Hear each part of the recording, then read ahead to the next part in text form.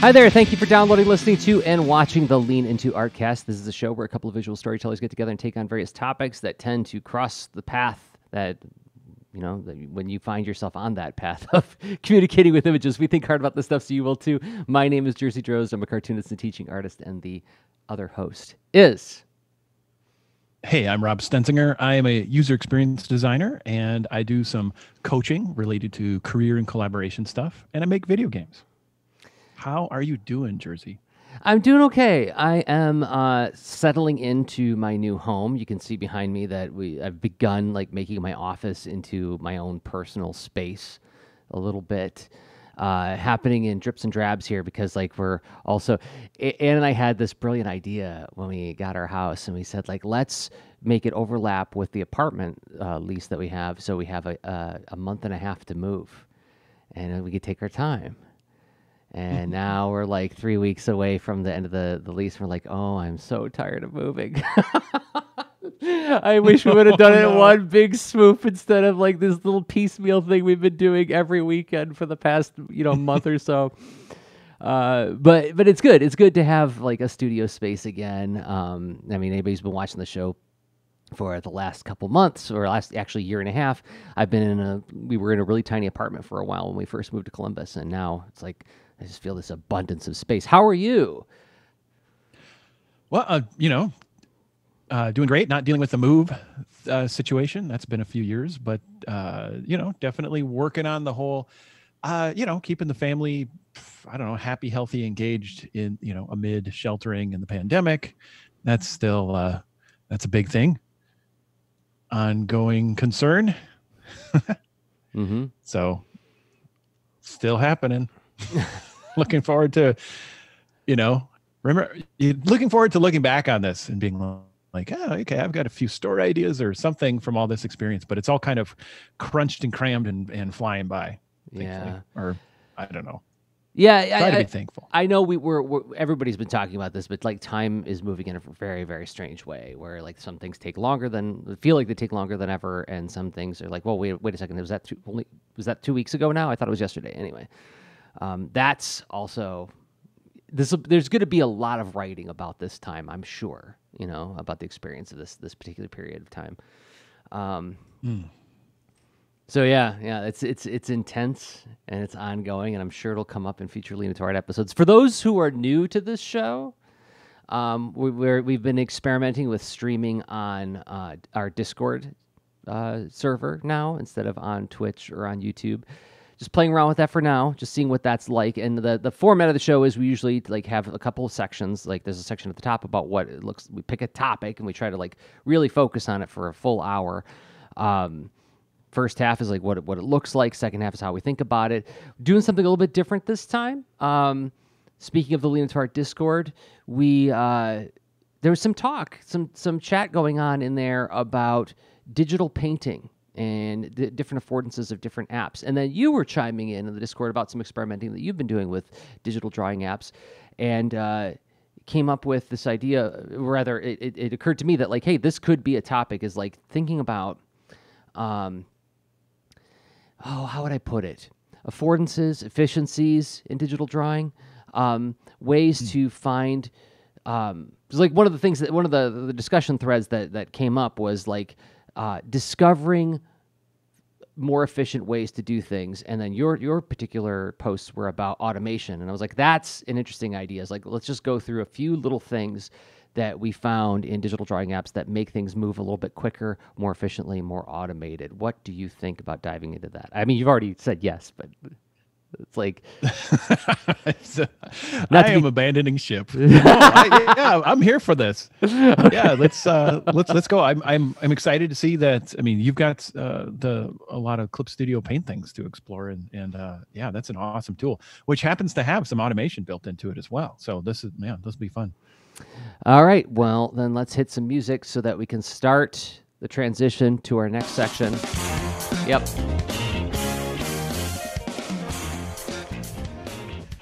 Okay, we are now in the first part of the show, uh, and we're going to start with Clip Studio Paint. Um, so I get I get the first chunk. I got to make sure I got my pen I can draw with. Um, So let me pull up my notes as to what things we're going to talk about, like as far as like efficiencies the Clip Studio Paint.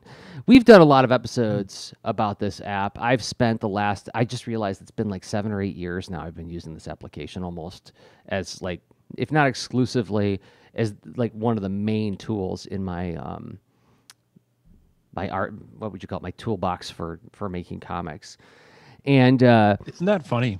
Yeah. Um, it, it's you, this parts and pieces of of your adventure uh, adopting this tool. It's totally chronicled in Lean into Art, right? Yeah. Because we were um, like right around 2012. There was maybe some curiosity and dabbling, right? But then this gradual, um, you know, deeper jump in. Yeah, and you said seven years. I think it's that's probably it took probably about a year of that dabbling transition to to to fully dive in and uh, it's uh, um, it's, it's just kind of funny that because if you think back, it was you know we've had topics like um, thinking about toward a paperless um, workflow and that's right. you, you know what I mean? Like rewinding back that far, it may seem like, oh, there was never a time when we didn't have some kind of drawing surface everywhere somehow, right? That was digital. Um, but yeah, it's, it's, yeah, um, I remember. Yeah, actually, it was it, was the here. it- yeah it was the the Galaxy Note 10.1 that I was so excited about because it was this, it was like basically it was what the iPad Pro eventually became, right? With this idea of like this really lightweight, thin surface with a pen that you can draw on. You got pressure sensitivity. And what was that? That was like 2014, 2015 when the Galaxy Note 10.1 came out. And I was like, okay, this is pointing to something exquisite. uh, just having like super flexibility. No, I mean, like real quick. Actually, I got to switch back to the to, to our other camera because I do want to make one quick point about this. Given that you started us on this road of talking about like going towards a paperless workflow, you know, it's like what's funny is I just did a live stream yesterday where I took this little sketch that I did while I was waiting at the um, car dealership for like service on my car, and then I took it into Clip Studio Paint, and then I penciled it. I don't know how well that's going to show up, but you know, it's like you Oh yeah, just okay. It's light blue. Okay. yeah, I just printed out in non-photo blue. So it's like what's happened is is like I'm doing like this this trade off back and forth. And as a matter of fact, uh, so like I'm not going pure digital on on almost anything. It's it's really become an amalgamation of using both. And like this example I have on screen is from a Baron von Bear pitch that I was working on a while back. And uh, yeah, the the it was penciled in Clip Studio Paint, printed out on watercolor paper, paper inked with brush pens, scanned, then imported back into Clip Studio Paint, and then painted uh, with watercolor brushes in CSP. So, so yeah, um, that's that's the thing that I'm like most thrilled about about the time we're living in right now is that like just it's mix and match your tools. You just have so many more than what we used to. Anyway, um, but some of the uh, efficiencies we were talking like talking about in the Discord is like one of them is and you know a lot of people know about this but not everybody does so it's worth bringing up is what are called clipping layers so what i've got a finished page of art here but i'm going to like zoom in on a corner so i can just do like a little bit of a, a drawing here so we can i can demonstrate this idea of what clipping layers are and i believe these are in photoshop as well but um, supposing i take and i just flat out a quick little shape and I'm gonna go ahead and just like make this into like a weird purple little teddy bear because I'm thinking about Barris because of Baron von Bear on the screen. So, you know, when you're flatting, you're trying to do something with no anti-aliasing on the pixels, and you want the colors to be Which is easy to do on in Clip Studio Paint, where it's just a um, it's a bitmap layer or the um, what what is it called? The, the there's a color depth setting when you create a new layer. oh we- and it's it's just like it, that's one of the things where Photoshop has all these abilities too, but it there it's really like a, a it's a top it's a really on the surface accessible quick thing um, as you're creating a new layer in Yeah, Studio Paint. and and but, uh, like all these drawing apps there's like a zillion ways to do everything because you can also like just adjust the anti-aliasing right on your brush so i'm down in the lower left messing around with Ah, my brush yeah. settings and turn anti-aliasing all the way off and boom now we've got you know just pure color pixel pure transparent pixel Right.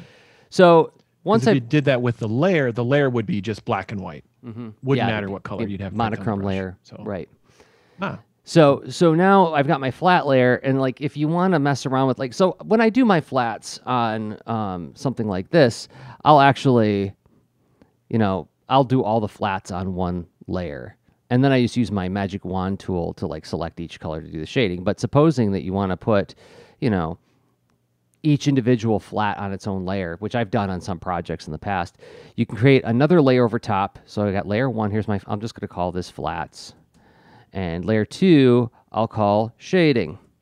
And then you can, in the layer palette, right up in the top left, you can select click clip to layer below. Let me see what happens if I right click on it in Windows. Uh, can I do it from here too? Uh, selection from layer, layer mask, convert layer, merge layer below. No, I don't think I can. Looks like they'll. Can I also do it from the from the context menu at the top of layer palette? Uh, I'm not finding it. So you you got to want to make sure that you have this this toolbar on at the top. I don't know how else to do it. There's probably another way. Um, but this toolbar at the top, the, the top left icon. Well, let's also look in our layer palette real quick. Layer. Just as a heads up, the me- the menus aren't actually showing up on the. Uh, oh, they're not. Okay, that's good to know. It's, um, Thank you for telling me that. Ca- capturing the specific window. I mean, you're Okay. narr- narrating the the menus like I can see them in my mind. okay. So, um, yeah. Okay. So, anyway, if you have this toolbar at the top, you can actually uh, toggle on um, the, the property bar, the command bar, and the set command bar below. So, you want to make sure your command bar is selected by clicking the uh, hamburger icon right next to your layer menu, and then you'll get this little bar at the top where you have, you know, your reference layer, draft layer, lock layer, lock transparent pixels.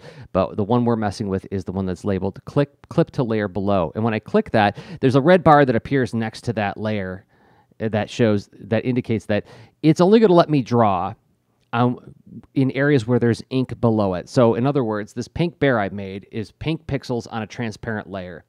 And so, if I take and I take like a, a darker shade of pink, and let's grab like a, a softer brush now. And if I try drawing, I'm going to try drawing to the right of the bear. It's not letting me see anything. But as I approach the bear, it's letting me draw wherever there, it only shows the ink I'm drawing where there's something underneath it. If I turn off that clipping layer, we'll see, oh, there's all the stuff I drew, right? I could draw all day long a whole bunch of different colors. And let's change to green and so on. And I squiggle in zigzag all over this. And then if I toggle back on, clip to layer below, it'll just hide anything that's over top of transparent pixels. So why is this important? Well, I'm going to clear this layer. So if I go ahead and select that color, choose the shading color, and then I get a nice big soft brush, I can go in here and shade around it without having to worry about being close to the edge.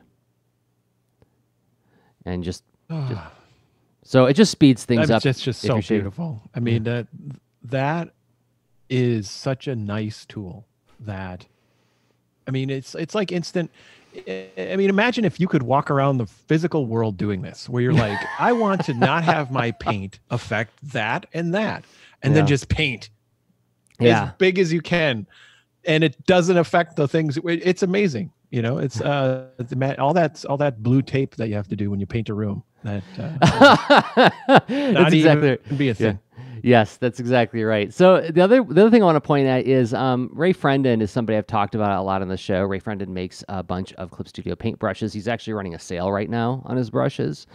And uh, so it's frenden.com, F R E N D E N. At the time of this this broadcast, he is, you know, uh, posting. You, you get yeah, I have those brushes too. He's not a sponsor. That's just showing love.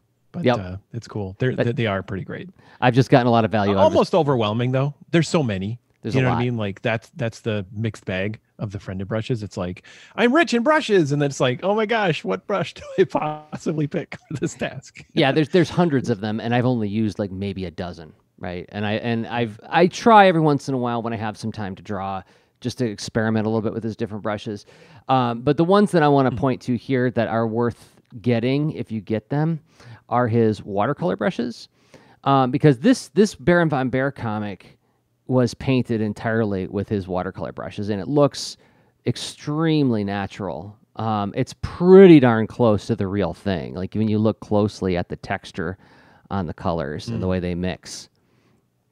Um, That is so cool.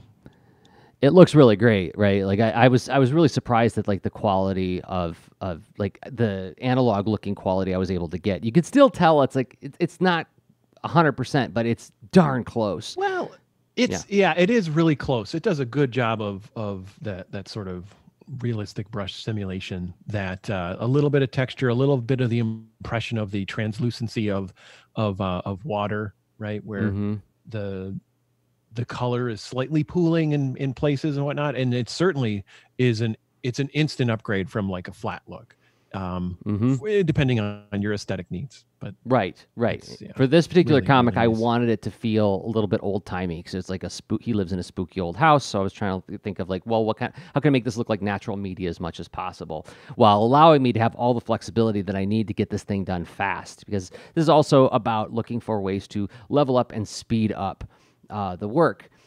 Um, not to do it sloppily, but to get minimum viable product, right? So in this case, the way I did it is so if you do get his brushes, here's how I employed them. It's like, so I have a flats layer. I'm going to make two more layers above it. And flats layer, I, I assign it to be what's called a reference layer in Clip Studio Paint. And then you can take the magic wand tool and you can say, refer to other layers.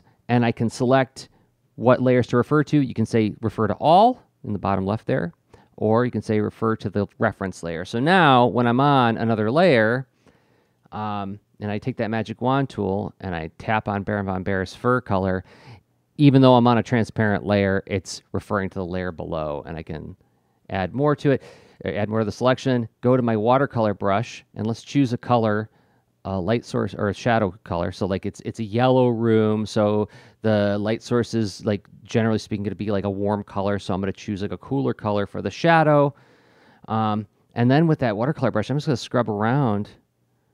Oh, come on. Where's which watercolor brush? Which, just to highlight that, that's a nice little um, heuristic or pattern rule of thumb thing. Where if you if you just if you have warm light, do cool shadows, uh, cool light, warm shadows, and it um, it instantly it's it's evocative, like because of how we see and perceive the world. Like there's a um, um, there's an instant at- atmospheric appeal to it, Mhm. even though Well, it's you know, it, you're yeah, dealing it's with two, 2D art. It's it's a really nice thing. Just remember to just sort of be opposite, light and shadow, yeah, yeah. uh, Um, and this this this comes from the way we perceive color too, and like like uh, uh, adjacent colors. So like, and I noticed this the first time I encountered it in art class. I was like, "What? No way!" And then I went for a walk, and I was walking in this neighborhood where they had those um, yellowish lights to diminish um, what was it called light pollution. And they were very yellowish, orangish kinds of lights. And then I looked at the shadow of the of the lamp post, and I was like, "Yeah, I see blue in that. It totally looks like blue." You know, it is there blue in that you know i don't know that that's that but like my eyes perceive that. I'm making up that difference somehow. So so if i'm going to use a like a warm color uh an orangish yellow for the light source i can go to my watercolor brush again and just scrub around inside this flat color and it gives that impression. Eh, that's a little too warm. I would lighten it up a little bit more but you get the idea. That's how I, I colored this, and it and it the pages went really fast. Like I didn't spend more than I don't think like an hour, hour and a half coloring each page, just doing it this way. So you have I usually have a uh, a highlight and a shadow. Oh, actually, in this case, no. I just did all the watercolors on one layer. Look at that. So wow, you were moving. I, I was I was really trying to like get like maximum efficiency on this. So yeah, I just like had uh, a highlight color and a shadow color selected in my color um, what do you call this? My my swatches. So like in my Amazon Academy or let's go to Rockets. I think I had it in Rockets. Didn't I? Yes. So I have a shadows color here and a highlights color there, and I just use that as like a global light and shadow on the page um, with the watercolor brushes. So, so there's that. That's another speedy thing is like using um, some really nice pre-made brushes and just using the um, what's it called? Reference layer uh, toggle so that you can like so if you have all your flats in one layer you just like quickly you just select each color from another layer and then edit them. And then obviously the, the advantage to that is that like if you decide that you don't like any of the shading you did you just throw it out and you don't, you're not you still have your flats. Um, this is another one that I really, really dig in Clip Studio, and it's something you can do in Photoshop, but like the way I've always done it in Photoshop requires a lot of steps, and this is literally like a one button thing in Clip Studio Paint. So um, when I'm importing my art, so here's that drawing I showed earlier uh, that I you know did at the car dealership. I scanned it on my computer, and what I can do now is go to if I like uh, well you could see that it's got black pixels and white pixels right? It's it's it's opaque. I can set it its layer mode to multiply uh, whoops wrong layer do it on the right layer. Set it to multiply and then the white will be transparent and I can see through it. But if you want to do things like color holds where you actually like isolate the black line so that you can color just in the black line um, you need to make the white pixels transparent. So in Clip Studio Paint it's literally you just go to edit convert brightness to opacity. Oh, you can't see the menu. Mm-hmm. You can't see. So, like, if you go up to your menu, I can. We can see it in our, in our minds, though. Yeah, so you go in the edit. theater of your mind. Edit, convert brightness to opacity. It takes a second, and what it does is it converts the layer. Are you doing it? There you go. It converts the layer to a black and white layer and deletes all the white pixels. So now, if I hide everything else below it, there we are. And also so, not a sponsor, but like Clip Studio Paint, I mean, it's clearly it's a tool that's easy to fall in love with when your your job is to um to do like any kind of illustration. Like it it prioritizes that above everything else. It's like, hey, photographers, you're wonderful people. That's great. Photoshop is more general in its in its nature and, and whatnot. But this specialization, so friendly. You know what I mean? Like mm-hmm. I feel like someone's like, hey, I did this for you. and, I, I, just want to, I'm like, thank you. That's exactly right. Yes, that is, that is how it feels to use so this. Nice. Yeah.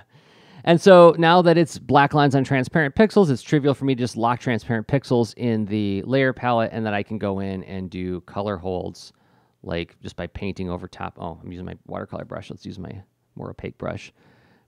And it's trivial for me to start, you know, converting. Oh, there we go. Just by painting over the lines. Um, and then you can also you can change the expression the expression color of the layer. I can turn it into a grayscale layer. Um, and so that blue suddenly becomes gray, but it preserves the information. So if I switch back to color, it'll automatically switch back to whatever color changes I made. Um, and you can change it to a monochrome, which means that it'll be pure black and white pixels. So it, like it's basically like running the threshold filter in Photoshop. Um, and that's called the expression it's above yes, so that's in your layer property menu, and then when you're on the layer, mm-hmm. if it's a raster layer, like if you bringing it in as an object, it won't work that way. But if you have if you have it as a raster layer, you can toggle between. And I'm seeing if you can, yeah, you can't see the menus as I as I uh, select them, but in the layer property menu, like literally right next to my head, like right there, um, there's an expression mm-hmm. color. It says mm-hmm. color. If I switch to gray, it turns it to grayscale, and we can see that you know that ghost character in the background is now gray. If I switch it to monochrome, it turns it into just pure black and white pixels. So, but it, it keeps all the information so that you're not you don't have to undo. It's still there. You can make a whole bunch of changes. So I can like switch this to monochrome, make a layer underneath it, go ahead and color in that layer. First, let's turn it on. You know, and color all I want in this layer, make another change, add a little red here, make another change, and then I can go back to this this line art layer, switch its layer mode to color, and that information is still there. It hasn't gotten rid of anything, mm. right? So, so that's another one that I really like is the convert brightness to opacity. So it's under edit, convert brightness to opacity, and boom, now you've got transparent pixels and black line art for editing in, you know, in your comic. Um, Another one that I really like is in your navigator window.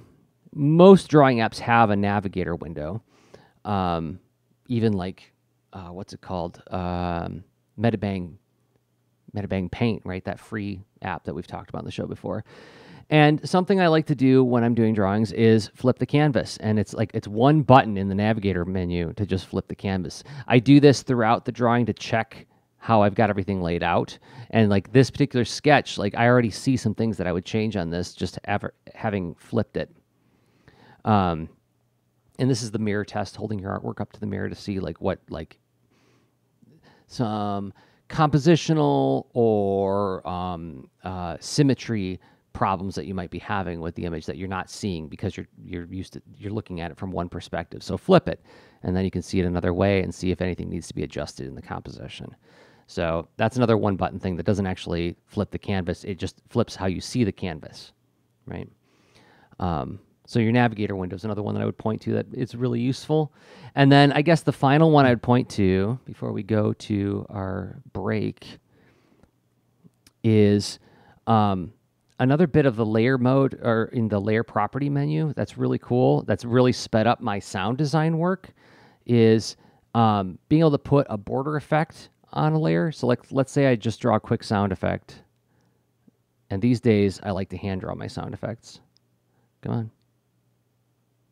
It's running a little slow. Hmm. Okay. Writing boom. Writing really boom. huge. in big yellow letters. And I wrote on a transparent layer so I can lock those pixels and maybe I can put a little bit of a brighter yellow in the center of it with a gradient. Whoops, that's too much. Let's go to circular gradient. There we go.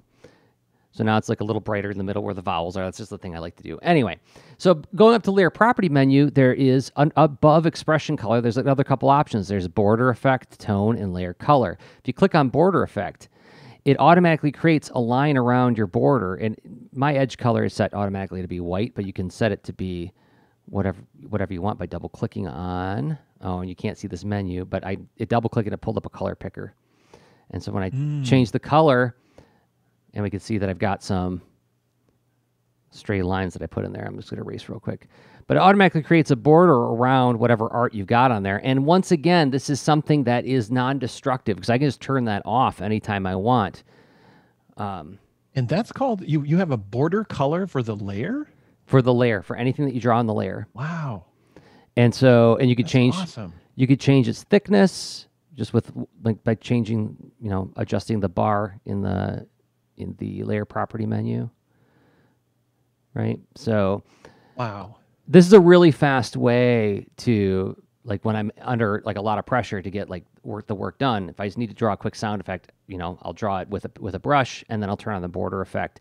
And you could turn it off, you know, and turn it back on. It's just like a, a switch you can flip. There's other stuff in the layer property menu that's fun to play with, but I'm just talking like these are just like about like doing like quick efficient things in your work, right? So so there you go. Oh my gosh. Those are some great efficiencies.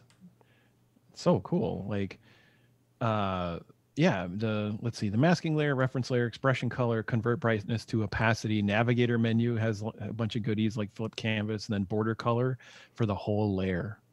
Oh my gosh. Yeah. It's pretty cool. I mean, like again, this is about doing things quickly because like one thing that I I sometimes I get persnickety about is when I do the border layer, it has to it has to be one color. So sometimes I like to do a border that has a gradient in it. Sometimes, right? So like it doesn't always speed things up for me, but like I would say 99% of the time, if I need a quick sound effect, that is the way to do it. Just like hand draw it, you know, because I'm working on a tablet that I can actually draw on, and then ta- toggle that border color on real quick, pick an associate color that like feels right to the to the sound effect, and now I'm done. I've drawn a sound effect in like four seconds, you know.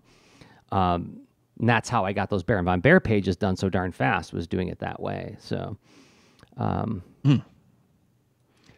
That's some good stuff. Um, and it's, what's funny is like I don't think we've covered much of any of that. There's a little bit of like we've you know reference layer at some at you know some point in the past. The uh, the classic we love to mention is the um, the eraser, the vector eraser. mhm. Um, mention that one. A lot of love for the vector eraser. Yeah. Um, and uh, yeah, eh, but anyway, this is cool. Thank you because I did not know a lot of these and uh, oh, cool. I'm glad. Um, very useful. Well, and like I said, there, was, there are people in the uh, the Discord who are saying like they hadn't tried out Clip Studio Paint yet. So hopefully that'll be something that'll get them to like at least give it a give it a try. Um, you know, the Clip Studio Paint has its its drawbacks. It doesn't have CMYK support, it doesn't have if you're like really in the Adobe ecosystem and you use like things like InDesign to do your pagination of your files, you know, like they've intentionally designed a suite that interoperates really, really efficiently. So like there's there's efficiencies that you lose by switching to something like CSP, but there's also other efficiencies you gain. So that that's that's a trade trade offs is another topic we talk about on the Into Art cast. so. Yeah, I mean, there there's always context, and uh, sometimes we learn more about our context by bumping into the wrong tool and saying like, "eh, it's not for me." But uh, I don't know. Uh, we've tested the heck out of this one over the years. It's it's pretty good for a lot of lot of illustration tasks. Yeah. Um, but um, yeah, it's interesting too that whole Adobe ecosystem. That's one of the reasons why, like what we're we're about to talk about next, that um, why I ended up exploring other ways to to do automation and scripting because mm. I have I have for now left the Adobe Creative Cloud system. Oh, fun! Yeah, this this has been a an ongoing sort of um, scuffle with me too. Is like I spent the better part of the last couple years trying to find ways to get out of that ecosystem because when I switched to Windows after I had a CS6 license that I purchased with my own money. It was not pirated, you know? And I was like, well, wait a minute, but it's only a Mac license. I can't take it over to my PC.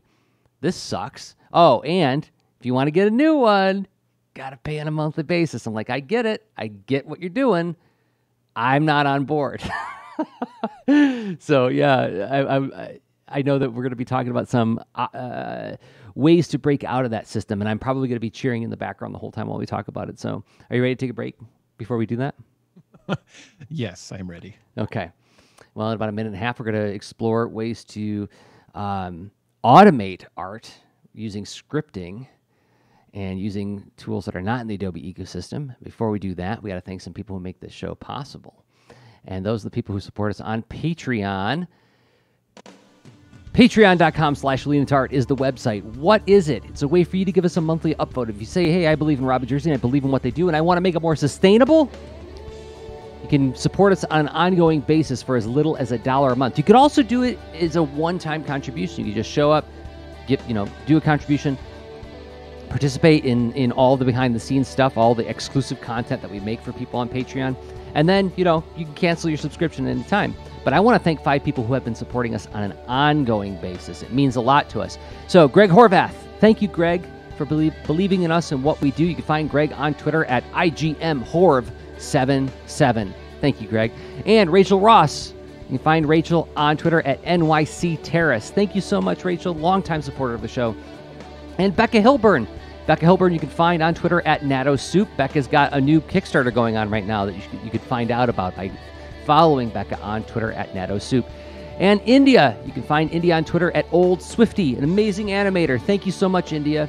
And finally, Keri Goble Billick. Thank you so much, Keri. Another longtime and enthusiastic supporter of the show. You can find Keri on Twitter at Mushin Girl. You can join them all at patreon.com slash lean where you'll find all the posts we make, all the shows we make, as well as the extra leans, the shows we record only for people who support us on Patreon. Those posts become an open mic thread where you can talk about whatever you want with fellow leaners, and it gets you access to the Patreon section of the Lean Into Art Discord, where we're streaming right now.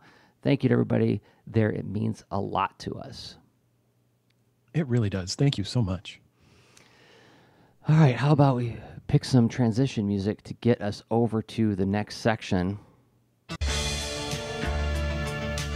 My soundboard is so sluggish today Okay. How sluggish is it? Makes the speed of sound more like I don't know the snail and mashed potatoes of sound. Anyway, I don't know. All right. Well, so do you want joke, joke, formats have been around before Twitter? I don't know. True true fact. So let's let's um, let's hear about automation, Rob. What have you been working on? Well, okay. So this is not like we have explicit about um, art automation in general episodes, and this is going to be sort of a dabbling in in hodgepodge of some things that that I explored because of how I lay out screens in video games I make. Um, when you when you make a game in like Unity, um, it's it's a uh, it's an all-in-one thing, kind of like the old days of of Flash, right? Where you have this this editor that has um, you know visual layers and layout and all that stuff, but then you also have um, well code behind the scenes, and you can kind of make it all glue together. Unity, Unity 3D, that um, it works like that, and um, so I don't need this as much for um, like Guitar Fretter Deluxe, which I'm building in Unity, but like other games I make, like This Panda Needs You and Guitar Fretter Classic, which I'm now calling it, um, it's you know it uses essentially layouts from from uh, you know Photoshop files. I um, I, I name layers based on like the the object I want it to be on the screen, and I position it in there, and then I can export the art and the positions of all the art and I didn't invent this or whatever. There was there's there was scripts in the whole Adobe ecosystem that I think um, there may have been like some rudimentary things for exporting that that Adobe had a cool script, but then others actually um, went in and got metadata about the layers, like what's the width of this layer. Um, that that's important. The width, the height, the you know the the position X and Y, and all that stuff. Um, and and that that becomes well once you know that, once you have access to the art, boom, you can load that um, in your code in a game or what have you. Anyway, so with that in mind, I so I had scripts that worked in the Adobe ecosystem. You can automate all the Adobe tools pretty well with JavaScript, and um, like that's we've we've actually talked about that in the past on Lean into Art. But if you are looking outside that ecosystem, uh, the options become uh, let's see. Thankfully, there are options. But if you think, oh, hey, I'm using the Affinity apps, right? Because they do a pretty good job um, replacing Adobe capabilities. And then, uh, you know, that's for the workflow of the you know layers and manipulating all the tools and and layouts and so affinity photo affinity designer and then the publisher i haven't experimented with yet but it's on my radar um, because it's a one-time purchase thing, and um, and it's a reasonable price too. So here we go. Um, so many needs are being met. Yet, when it comes to automation, those tools haven't um, haven't approached that issue yet. It seems like in forums and conversations, yeah, people talk about it, but it's not there yet. And here I am today wanting to do an update to Guitar Fretter Classic.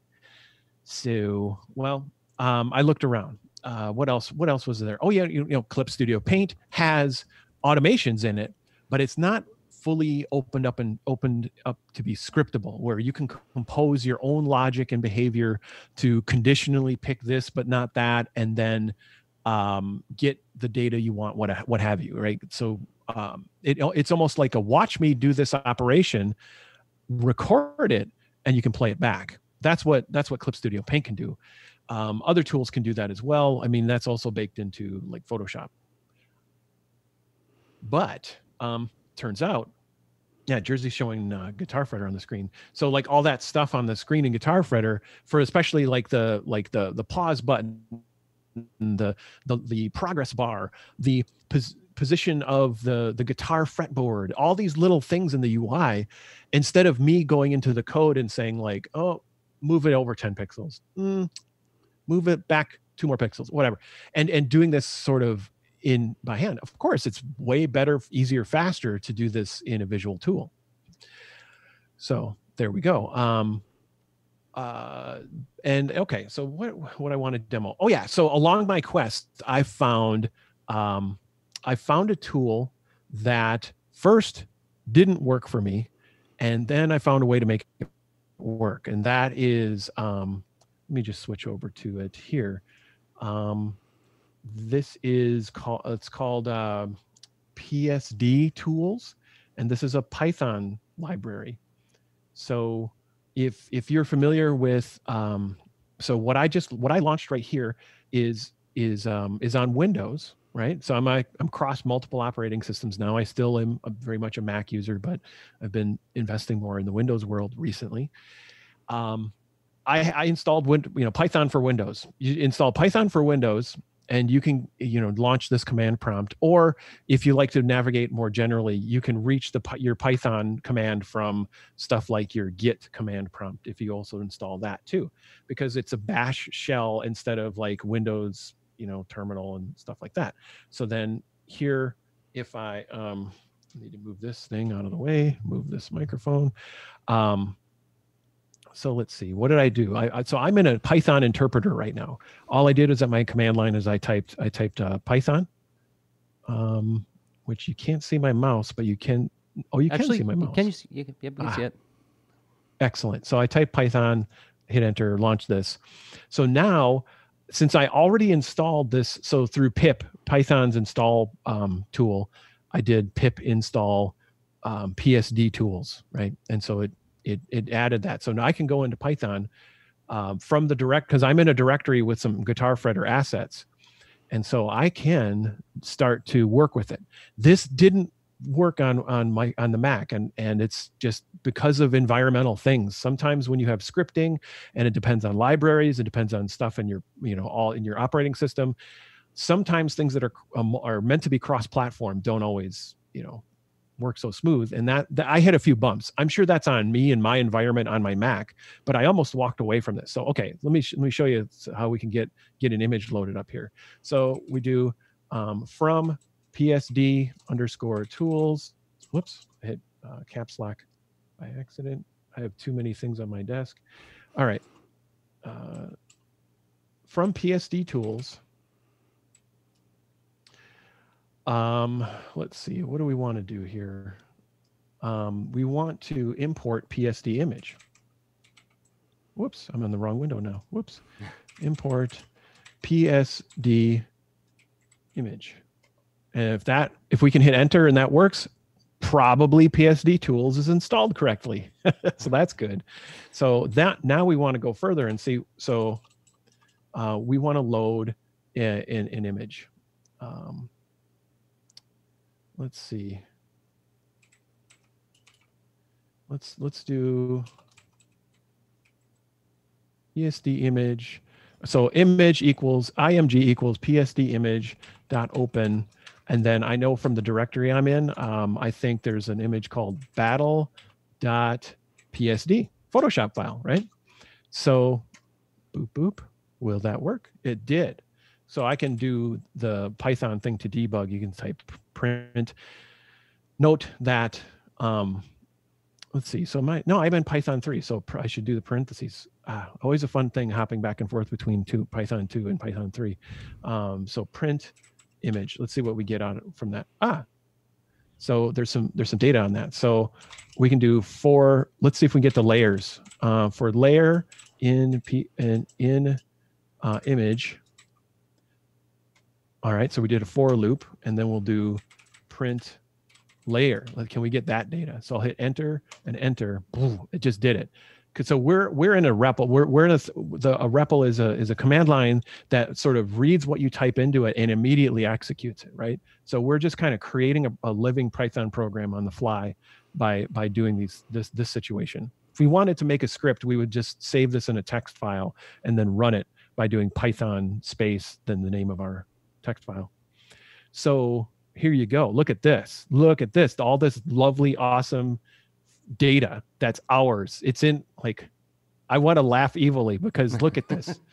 um, so we have access to all the layers, right? So what's cool is now I I think I have a viable option. I almost walked away from from PSD tools. If you just yeah, you do a search search, on Google for Python PSD tools, you're gonna find this and uh, you know how to install it and stuff. But like I can make a script to export the positions of all these things. I can even actually use this this method. I don't have Photoshop installed on this machine. I could use this method to um, discreetly export the layers themselves too. So anyway, lots of power available uh, to me there, right? Uh, wait, wait, wait, wait a second. So you're telling me that you could, with this script, uh, without even having Photoshop on the, the, the, the computer, you can export a layer from a layered PSD file. You could say like grab Okay, like the we- flats layer. Okay. Yes. What? So, yep. Um, let's see here. So if I go back to my window, we'll need to. So this is all live. So our for loop went away. So if we have to do it again uh, for layer in image. So here's our we're back now. We started a for loop. Now we're inside the for loop. Um, see how you know just like we did this. Whoop, scrolling up there. Um, all right. So we want to, I'll print layer again. Whoops, layer. We would have gotten an error from that. So we're still in the loop. We didn't leave it until we hit enter twice. So I can add another command. Um, um, layer image equals layer dot composite. All right. Is that the name of one of the layers?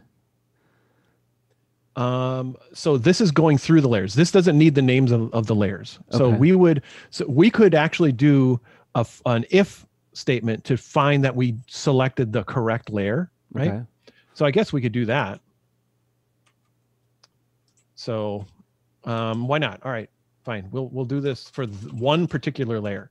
So we'll we'll do. Um, all right. So so for layer and image. Um, let's make sure we got this right. So layer dot name.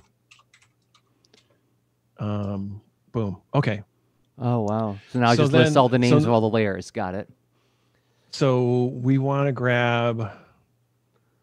Uh, do you see a name? Uh, Guitar. guitar Yeah. okay nice all right kind of all right for layer and image um let's see if layer dot name um equals uh guitar um uh print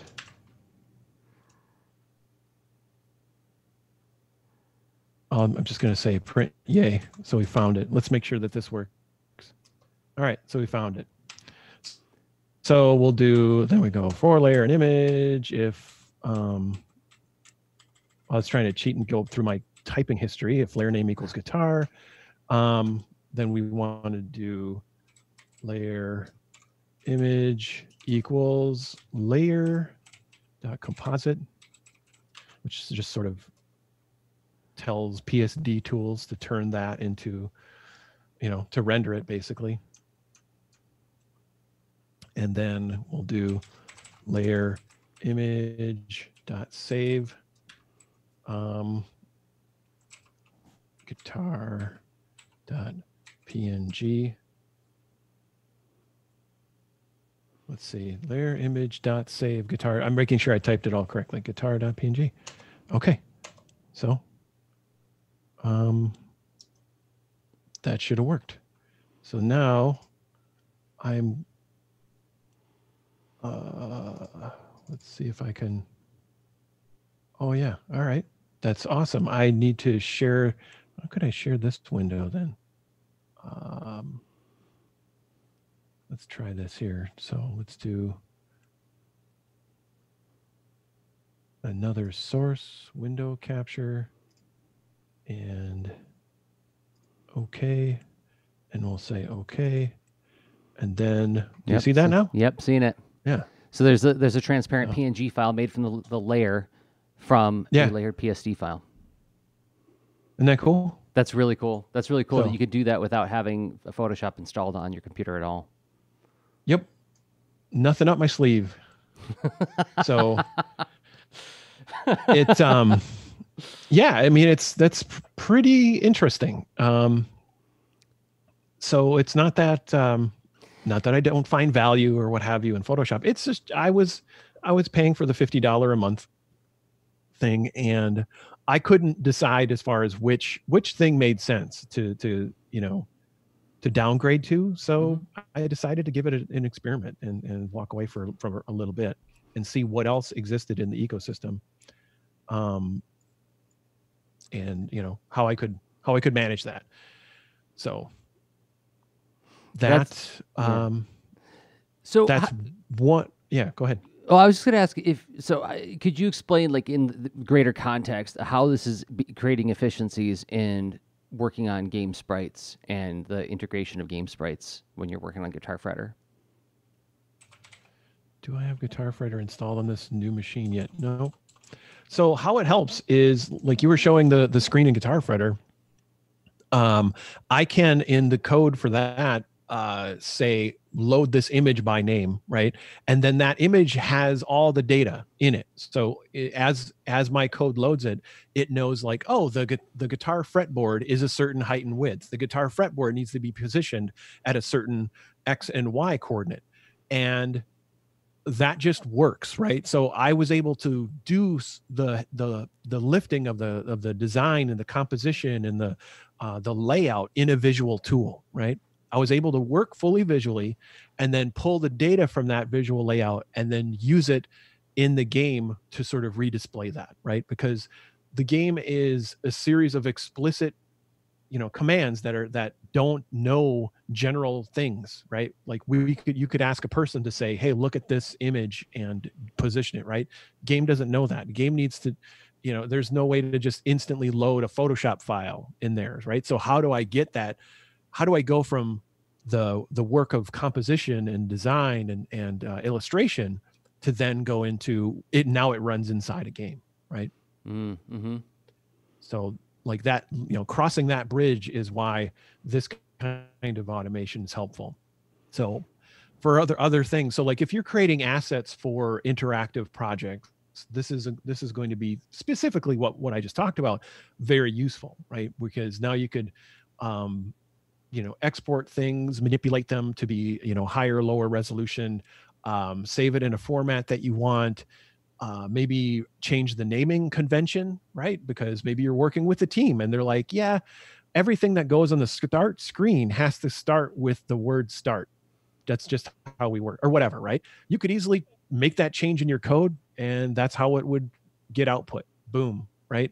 No extra work on your part um, and that's the point of the the automation aspect. So the the world where i don't do this means i have to then by hand say all right i have all these asset files and where do i want to i need to load that one and give it a position. Oh that's a wrong position. Oh it's it's a little too its native resolution is a little too big. I need to adjust that whatever right? So anyway it's it's it's now just um easily accessible uh, data And this is that was P- already baked in.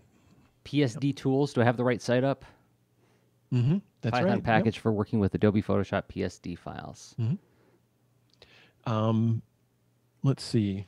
Did you did you want to see a little more, or are we? Yeah, let's do a, up let's do a little bit more, and then then we'll do another break, and then we'll close with uh, our two minute practice. So All right. So let's hop over. I will switch to my Mac. And oh, that's funny. So um let's see here. So what I what you're seeing right here then is is the window for the app called GIMP, right? And then uh then this window is, is so so GIMP is an image manipulation program that um, it is open source and has been around for a long, long time. Has um, you know a storied history and lots of twists and turns, but I would say overall it's been it's been growing and to be a more and more refined, easier and easier to use tool, roughly in the realm of an open source Photoshop.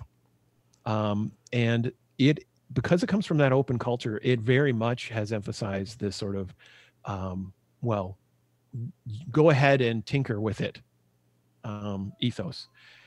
So you have this thing called um, Script-Fu baked into it, and then Python-Fu script uh, capability baked into it. And so you can uh, essentially get well. This might look familiar. Oh, let me zoom in on it. Um, this is a well a Python console. Um, what's cool is it. Um, you let's see. So this is kind of like the same con- conceptual thing that we just did in the world of um, uh, like PSD tools and just raw Python, right? So this is Python embedded inside of um, GIMP, and then having access to all of that GIMP can do.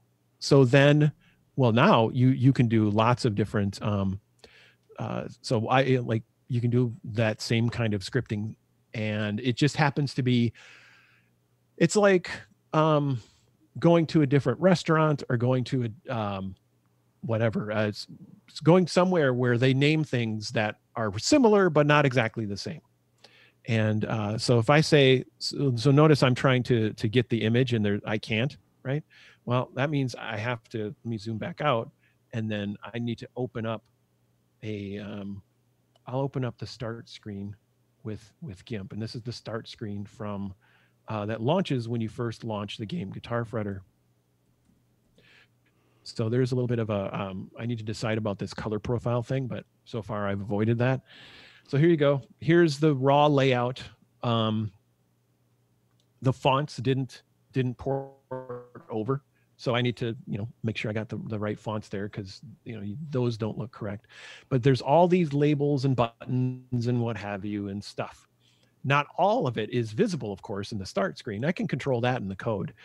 But um, here's all the the finicky positions of all the things, and um, and so and that of course is in um, in layers. And uh, if I scroll this over a little bit, you should you'll see that you know GIMP has roughly the you know the kind of kind of tools you, you come to expect, and it's um, I really I'm impressed with how much how it's been becoming a little more refined and a little more usable and polished by over the years, and it's uh, I think it's it's come a long way. Hmm. Um, so, okay, back to so so this is just saying like well now i can have i can basically automate my image app with python so now that there is an actual image loaded in the app that didn't fail right so then if i do if i just type image you can see it has a reference to that right so then um let me think here i'm trying to remember the uh let's see do i have it in my history let's see here. I'm going to do another for loop and go through the layers. All right. I'm going to need to zoom back out and look at my reminder list. Where is that thing? Here it is. So I will, uh, let's see. So I would do, well, very similar. Um, whoops. Uh, for layer in image dot layers and uh, yeah, four layer in image dot layers, and then let's see, what do I want to, what data do I want to get from that? The big, the big gotcha here. I'll, I'll, I'll zoom in now. I have to remember. So it was do, do, do. Um, big gotcha for this is like, I couldn't figure out, I could get layer name. I could, okay, I'm trying to zoom in. That's this button. Here we go. All right so I was puzzling out how to get um because I could do print um and this is Python 2, so little tweak in syntax here, print layer dot name, and I could do print layer. This was the gotcha. Oh my gosh. I was trying to figure out on, on my Mac, how could I automatically get this data? And it was the XY position. I could get everything else, the layer width, the layer height. Let's see, I'll, I'll just type that was literally the question I had is like, can you figure out its actual like uh, absolute position on the image? And it's offsets, layer dot offsets. Mm. That was the gotcha. So I'm just going to hit that enter, and then boom, you can see all this data come come flying out. And all I need to do then is I can I can turn this into a you know, put it into a text file and refer to it from my game, and it's all there offsets. You see, so there's X and Y. Um, mm that's yep. And if you change so those in the text file, it'll automatically populate that in the actual game engine. Yeah. Oh, that's yeah. nice. So I can work visually and export it into into the game, which gives me, you know, it's it, it's like trying to use each tool for its its um what it's it's better at, right? Mm-hmm, How can mm-hmm. I, you know, This along with our theme of this episode. the the metaphor for those of us who aren't game designers is probably if you've ever manipulated CSS on your website, right? Because like Sure, you're, sure. you're dealing with that kind of thing all the time. Okay. Well, that was my second demo. Any any other reactions or questions about that? No, that's that's really cool. I mean that that uh, what I'm getting from that is is that instead of you having to go from the game engine to GIMP and back and forth to keep messing with it and then re-exporting it, you have the assets already like created as individual files that you can now by having your master file and then running that Python script, now you have the data so that you can just like make very fine-tuned minor adjustments on like image size and position without having to re-export everything. That's what I'm getting from that. Is that right? It's yeah, exactly. It's it's like um, sometimes if there's a tool that's that uh, a tool might be worth picking up if it gives more than it takes, right? And overall, this is giving me more than it takes. A little bit of scripting means I can continually refine a design. I don't have to. Um, I can reward learning and adapting and saying like, oh, this is actually more readable if I nudge it over here, or if I or if I actually change its its its its, its size it, because it creates a better um, sort of harmony and a visual emphasis and whatever like whatever i'm learning as i interact with the game i can act on that and that's nice other tools like don't have to deal with this but plenty of things do uh, if you're loading uh, if you're loading assets like into a website because you're making something cool and interactive there um, you may find visual ways to do that but if you don't have it if you need to go from your visual tool to your coding environment and there's no real bridge there then something like this can sort of connect those two without um uh and, and sort of yeah keep keep you out of the business of of um getting mired into uh trying to really do visual composition in a tool that doesn't do do that well Mm. That's great. Well, cool. I think we took a pretty broad walk around some different ways that like automation and shortcuts can make our lives a little bit easier when using digital tools. I think that's great. Um, do you feel like you're ready to take a break and then dive into two minute practice? Mhm. i am ready Okay. let's yeah let's take that break and uh, talk about what we what we practiced recently and Aye. uh, who knows what might be next Cool. All right. Well, in about a minute and a half to two minutes, we're going to come back and do that. And but first, we need to thank some people who make this show possible, and those people are us.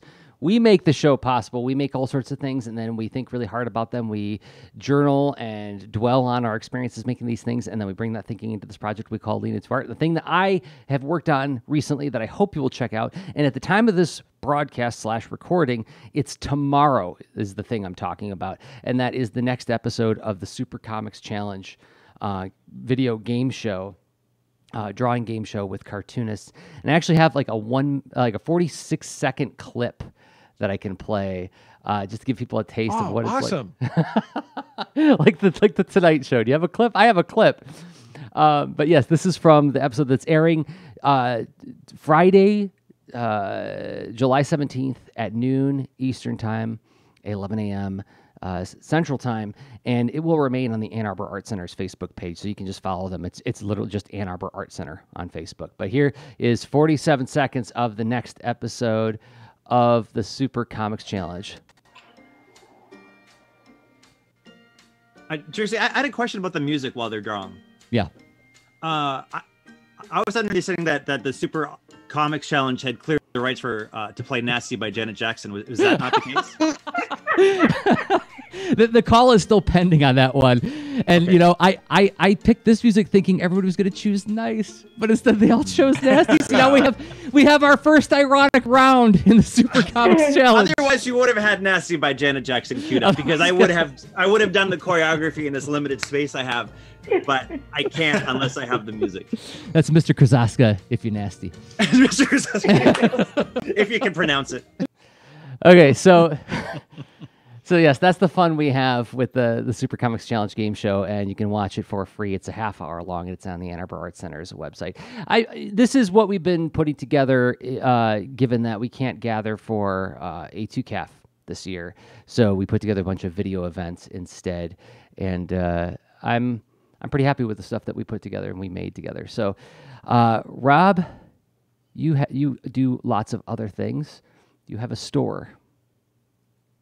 I d- yeah, I do. So if you go to uh, robstenzinger.com slash store.html, you see that I have a variety of products and services I offer. Uh, you know, first and foremost, I have coaching.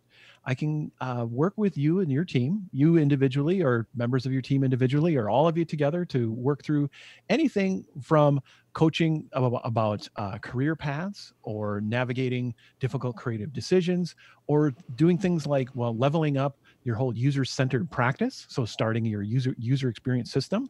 And of course i have the um, the uh, creative product lab as well which is sort of an ongoing journey through the cycle whole creative cycle of making a product and making it a meaningful thing for your audience and for you. So then i also have workshops you can check out. Um, you can uh, get some easy links to those at, at robstenzinger.com slash store.html things like drawing user journey maps customizing your next creative challenge and uh, goal setting using design plus storytelling, and even the wonderful chill out break fun time of sketching the happiest kitty in the universe. All of these are available through my Gumroad store, but they're also available through Skillshare. So if you do a search on Skillshare.com for my name, or if you use any of those links to go to Skillshare from store.html, right? You can, uh, and you're you're new to Skillshare, you you can get like a uh, like a two month free uh, thing for signing up and, and being a new member. So there you go. Check out all those things I have to offer. Other links to you know convenient links to the games and things I do too.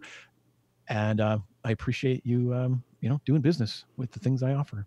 Uh, could you just spend like 20 seconds talking about the pr- the product practice lab because I, I I feel like this is an exciting new addition to the store that we haven't spent a lot of time talking about.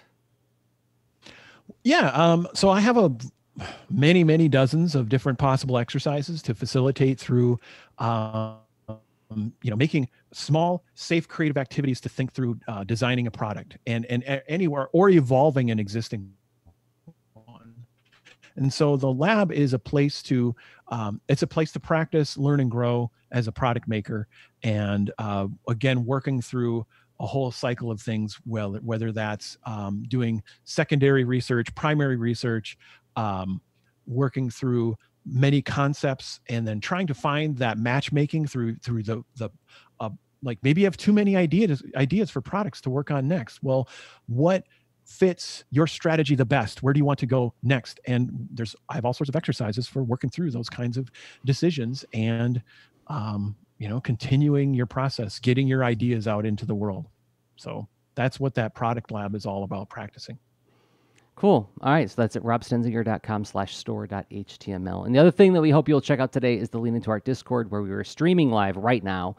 Um, we have a forum now, and the really I'm so grateful for it because the conversations that are happening in there are generating topics for the Lean Into Art cast. Not because we've exhausted all the topics, but because sometimes we get into sort of like a lane in the work that we're doing and we forget about other interesting aspects of the work because we're not engaged with it on the ground the way everybody else is. Everybody's doing approaching it from different directions.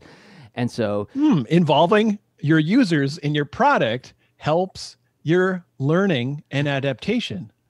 This is living that very model right here. So exactly right, because yeah. inherently you get you can get locked into some perspective that that uh we got we have one brain and one one one sort of pile of senses and and neural physical reality that we work through. But turns out you can do more robust things when you include more people. That that can they can bear the load of all the different perspectives because they have things they care about and we listen and uh you know that's that's perfect because Yeah. somewhere there's an overlap where it's like gosh that would actually make a good topic and that's what happened this week. And so, yeah, we there's a invite link in the show notes for this episode and every episode. Uh, please join us in the Lean Into Art Discord. There are three public channels, and then there's the Patreon only channels where we do the live streaming. And uh, Ashley is in the Discord right now and commenting on when we were doing the the, the break. Said uh, the Super Comics challenge was really cute. I loved the blast. The last episode, the car crash sound effect was crazy. Uh, yeah. So part of the the Super Comics Challenge model is I try to bring in a very young artist, like a child, like an 11 to 12 year old who like is serious about making comics, usually former students of mine, and then bring in somebody who's been doing this a few years, but is not like they have less than say 15 years experience making comics, and then I try to bring in a master, and a master is somebody I would define as somebody who has 20 years of applied experience or more doing this, and then so in the case of the episode one, that was Greg Schigiel was my master, and the master is there to take all of the brutal hits, right, and so like we do a round where we do sound design everybody gets a different i play a sound on the screen or on the show and they have to design a sound based on what they heard. And so you know it's like the other two contestants got like oh you get like a rooster crowing here's a gong being hit. Not not insurmountable but but challenging, but not like super challenging. And then Greg, I play a like minute and a half long car crash where it's like it sounds like a 22 car pileup, and you hear like trucks going by, you hear glass tinkling, and, and Greg leaned right into he he totally got what I was trying to do there. As he leans right into it, he starts. You see him like dancing with his fingers while he's listening to the sound, and at the end, I'm like, "Do you need to play? Do you need to play it again, Greg?" And he's like, "Oh, please don't." so yes that's part of the the game is it's not about winning a game really it's about just playing together um, and and and getting people from different experience levels to all interact in a forum like that and that that, that really is like the spirit of A2CAF. so I'm I'm I'm I'm glad that Ashley watched it. Uh, the second episode, I play a similar trick on my master, um, and and Jared Krasaska was just a brilliant commentator. He brought a lot of fun to the show. So I I know that you will enjoy it if you check it out uh, on Friday at noon. Okay. It's a it is a really fun show. We we watched the first episode as a family, and it was one of those things where I thought, oh, it's gonna you know uh, let's check it out for a few minutes, and the uh you know it just i don't know what it was. Like we were about to you know transition from you know after supper we are going to play some board games or something and the kids were like nah board games can wait. This is great. And they it was it was a lot of fun. That's so awesome. it was uh, very much like a whole family uh good time. Impressive awesome project Jerzy. Thanks. And and i'm grateful that you were able to step in to be the rod roddy of the show with your press your luck voice at the top and at the back end. I, I, yeah, very small, but it was it was neat to, to it was neat to, to you know contribute that. So thanks for thanks for asking. All right, uh, so it's time for the two minute practice. So two leanintoart.com slash two minute practice. Um, this is the the the experiment that we conduct where we try to find uh, ways to inexpensively add new practice to our our work weeks. And what was our? Oh, by the way, hi Rob. Hi Jerzy.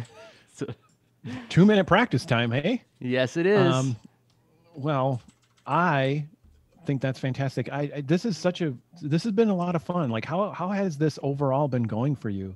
These two minute things, the, the I have not been successful at instituting it at a specific time of day, right? Like I feel like like mm. we've talked about this before. It's like when it comes to any kind of thing that you want to turn into a habit, like they say with running, it's like you should run at the same time every day. Um, I'm not. I haven't found a way to where I can block out that two minutes. It really feels like it's something that happens in between other things, and I put it on my emergent task planner every day. And it's like sometimes I hit it, sometimes I don't. I did. I did do it a couple times this week, and I would say, broadly speaking, aside from the fact that I haven't been able to make it like a, a, a true habit, um, I'm finding that I'm getting value out of it every time in the sense of training myself to um, whittle in a way that um, where I can shuffle off the initial panic of trying to accomplish something in a very short amount of time. I'm getting comfortable mm. with the idea of let's see how much I can do in an amount of time versus I have to get X done in a certain amount of time. Like the dynamic is very different. Uh, that's how how interesting that, that it's that was part of its the the origin the origination of this was to try to push against that idea to be playfully you know coexistent with yeah you might be productive if you do something in two minutes. But it, that's incidental. The the intention and likely outcome it's just different experience. And uh, just knowing the constraints of it, like realistically, that's that's the more reasonable thing to on to to expect of saying like I'm going to practice something for two minutes at a time, and I have an idea that I'll try for multiple days, maybe seven in a row. I'll let's see what happens, and but to expect like a product at the end, it's probably not going to work. So in a way, it was this was all hacking our overall how we deal with creative challenges and saying like where do we, you know, where can where where can we go different with that? Because you know, sure is sure is tempting to to be productive and you know produce a thing. Yeah, yeah. So I guess it, it, the short version is that I'm I'm being shaken from my um uh my, my grasping at only feeling good about something when I have something to show for something. Like like defining myself through my productivity. I, I'm it's it's found you found a new way to shake that branch, so I, I'll just finally let go of it and accept that there's there's some some, some things that are meant to that's a thing. It's a scheme. This whole thing is like surprise. trying to it, you know do this quirky thing for my friend as and literally i'm shaking you like Because as- it's as all about me, loses Rob. grip yeah it is though too like i it was very much a huge influence because of how much i admire when you do a creative challenge Jerzy i don't know how like you have found for years and years a way to turn creative challenges into products and i just sit there mouth agape after after a few weeks where i'm like look at him go he has a bunch of pages for a book what the heck? All i have is these weird animal things like and like 10 different themes among a pile of doodles. What am i going to do with this right? And so anyway welcome to my master scheme two minute. all right. Well, so what now all that said, what was our challenge this week? so we chained a challenge again in a way because it, we had a brainstorm about gratitude uh, in our in our previous practice but then that turned into something more specific about brainstorming um, gratitude that is about the people who helped you on your path and then ideally turn that into action so you know reaching out and showing and sharing that gratitude to to those people so Mm-hmm. Which I- you practiced. yeah And i uh, did How'd it go for you? Uh it went um how do I say? It's like uh so you ever listen to an album enough where you get deeply attached to it and you go past a certain point of thinking like I'm I've heard this so many times. I'm now not going to be as into it somehow. I'm going to I've just heard it too much. I've wasted the flavor of this experience. But instead it actually goes deeper Mm. and and like oh crap now this album makes me cry Yeah. and good news you know it's fine it's just like well wow um this this was a hard practice because uh you know i went from like the casual version of the brainstorm and here's the functional here's how i could do it in the situations to i went back through my path and uh i am very lucky in so many ways and it's overwhelming. You know what i mean? Like if i think about i go i went you know my i can't i, I don't want to share mine because it's too personal. I don't I, I don't know because i my first phases i did this in one two three i'm glad i switched different colors with my markers so i know how many how many um, practice sessions. I think it was four four sessions i did the path brainstorming but then in a fifth session i did the people brainstorming of those points along the path right? So i started along my path where i went you know childhood teen young adult so like and then sometimes projects and products would just come out of like oh wow this is really affecting like and and it was like a positive building block toward where i am right now. If i think about something that, that i experienced that i would then pick up and look at and say yeah it's part of me. So this thing of um like for two years i was in junior achievement which is a like a like a business um uh it, it's like practicing doing a business in high school right that was pretty influential to me i don't know the names of the volunteers of that thing i but like they they provided me a, a pretty awesome experience that um, I learned a ton about, like going into therapy. That that like I had a mega awesome breakthrough kick butt therapist in my early 20s, right? And then on and on, right? So early, then it's it's like professional career, but it was like I didn't do every single fine grained thing I felt good about from my young, you know, childhood, whatever, teen, whatever. But it was like these particular elements that were like part of building my path as, as a creative professional being, right? Mm-hmm. That path in particular. Hmm. So if it was like if I um, it contributed to to my makeup as a as an artist, as a game creator, as a designer, a coder, a collaborator, um, a learner, a teacher, right? So anyway, um, it goes yeah, and then there's yeah, I guess good. You know, it's it's, uh I guess it's a long path because I'm old, right?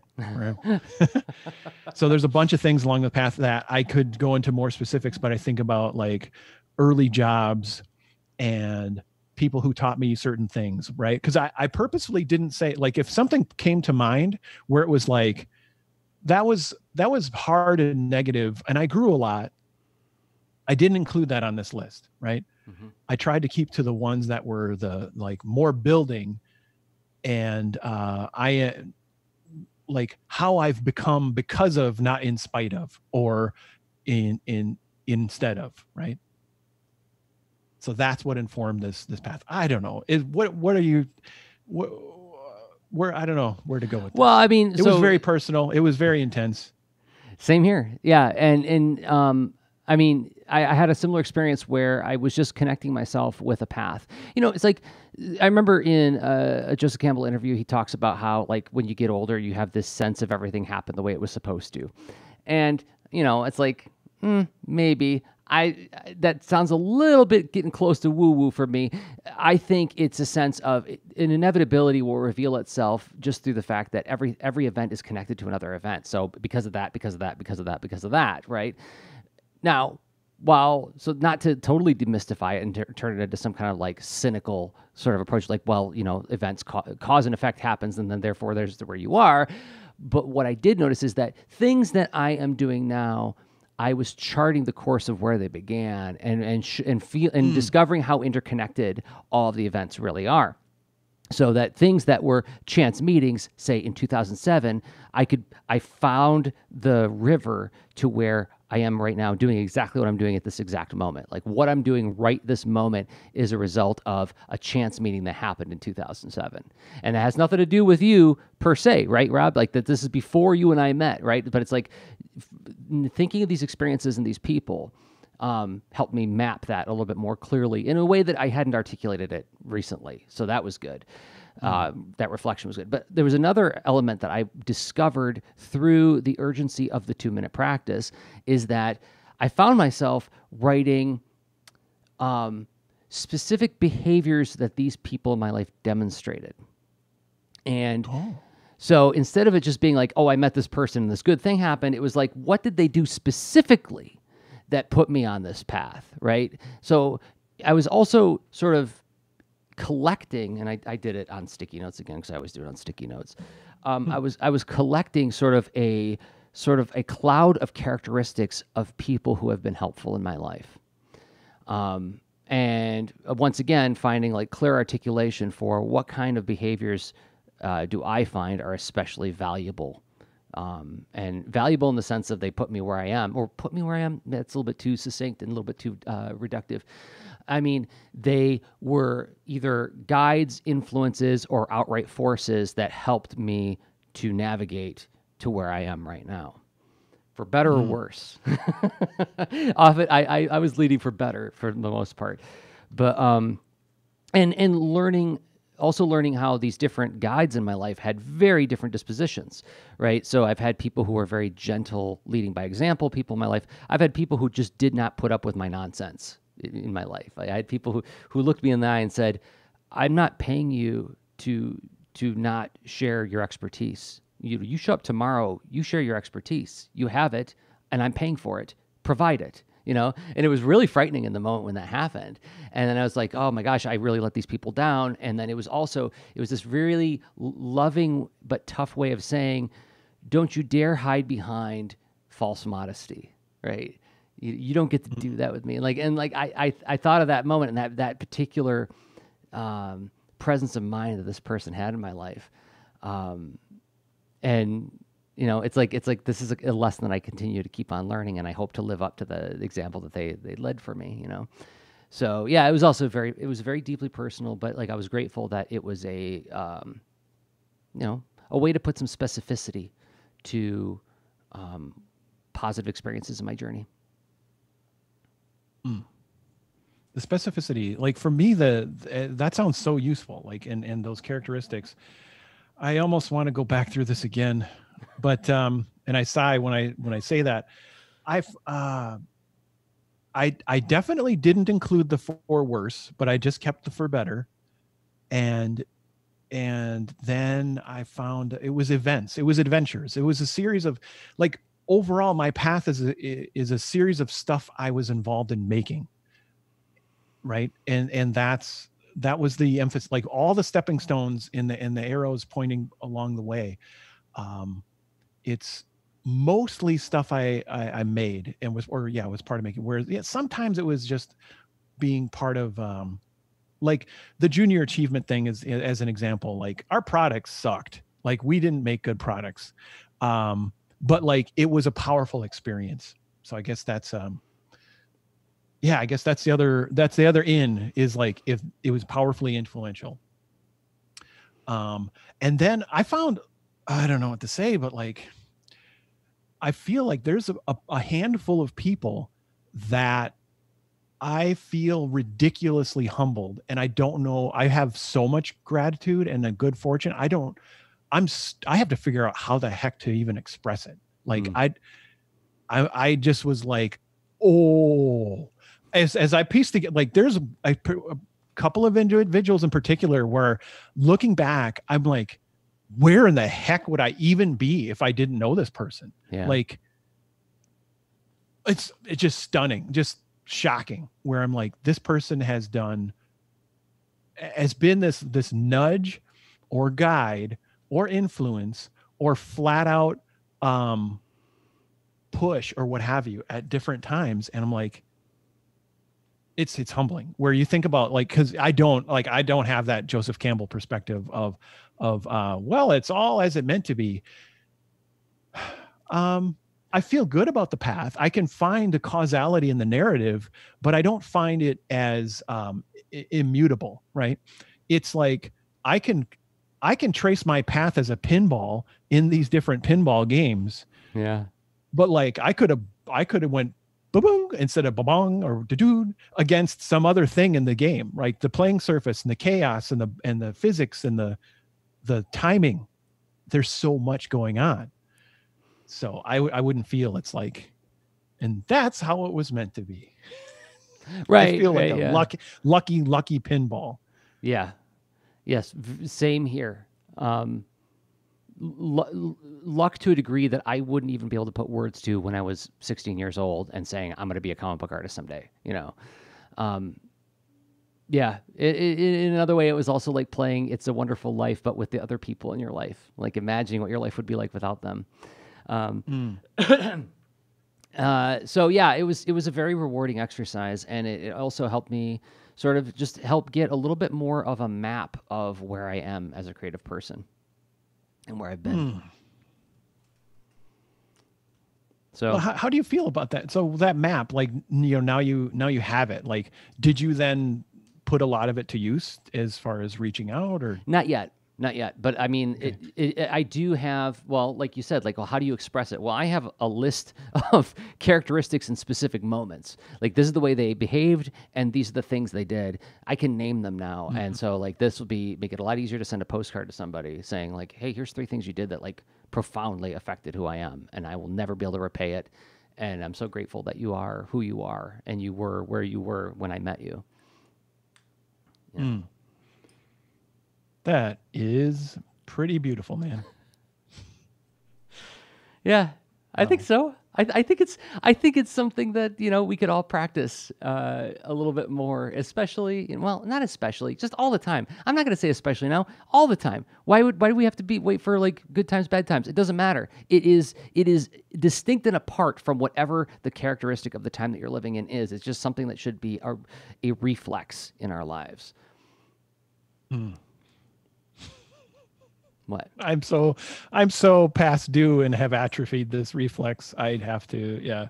I I I look forward to getting better at it and and developing it in the hopes that it will become reflexive. Yeah. Well, that's what practice is for. So, what do we what do we want to practice this time? Do we want to do something sillier, a little less intense? Mm. yeah. well, if we had door number one, how about you dig even deeper? No, uh, I'm good. Yeah, I'll, I'll take the I'm door with the goat I- behind it. Yeah, exactly. I'm fine that I might get exactly. And let let's make a deal, Monty Hall style presentation. There's a good chance I'll end up with a goat if I make a choice now. So, um. Anyway, what um. Let's see. So we've done a lot of visual practice. We've done. We've definitely caught up a bit on the sort of, um. Uh, I guess uh, life and reflective practice stuff. Um, what has been? Let's see. So, what do you think about different um, sort of mm, like rapid sketching techniques and like uh, like brainstorming wise? Like, I find like some of some things are very brainstorm compatible, in my opinion. But like, I don't know if this is a two minute practice or a lean into art thing where it's like sometimes drawing with silhouettes is super relaxing and interesting to me where it's experimental and I discover stuff. Mhm. Or other times, sometimes drawing with it like the symmetry tool, right? In a digital where where it's like I, I have a ruler that that my lines are mirrored uh, on. That's kind of fun and relaxing. Um, but like it feels so specific, right? So is there like a mm, because there, there's this other thing activity I did with the kids a couple weeks back where we were making some cards for some folks, and then um, uh, I had them essentially cut out random shapes, but then really repeatably and easily turn that into a face. Because if you fold it in half and you cut a little triangle mouth and you use a whole a paper punch and go, "Mm," you put it, and all of a sudden, boom, you have two eyes and a little mouth, and it's really re- um, there's harmony even though there's a lot of variety, right? I don't know. What do you think of all these words? Is there a practice in there?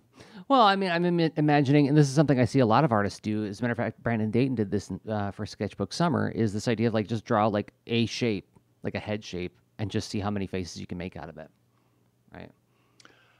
Ah, okay. So like you just That's draw like cool. a, a bean shape, a round shape, a triangle shape, whatever shape you want, four times or however many you can do in two minutes, and see how many different faces you can make out of that shape. Uh, I see a lot of artists doing this on Instagram. Um, Krishna Sadasivam is another artist I think of who does this a lot.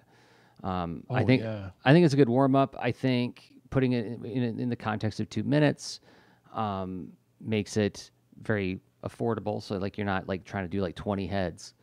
Just do see what you can do. Like two minutes is what 120 seconds.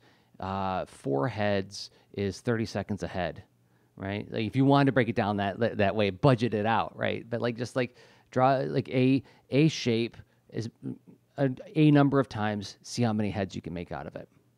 Different heads. Right. So same. The variety is in the exploration of the of that shape. Mm-hmm. And okay. I, and like I always say to my like a lot of fun. students, turn it sideways, turn it upside down, look at it, you know, from a variety of angles, see what you can find in there. Mhm. Sounds relaxing too, like a nice low pressure doodling thing. Yeah. that sounds that sounds really nice. All right. Uh, let's Cool. do that. okay. Thanks, Rob. Thank you, Jerzy. And I think that that means we have done another walk around a topic in a podcast. Uh, so thank you, Rob, for this week's discussion. Thanks to the folks in the Discord who provided us with the inspiration for this topic.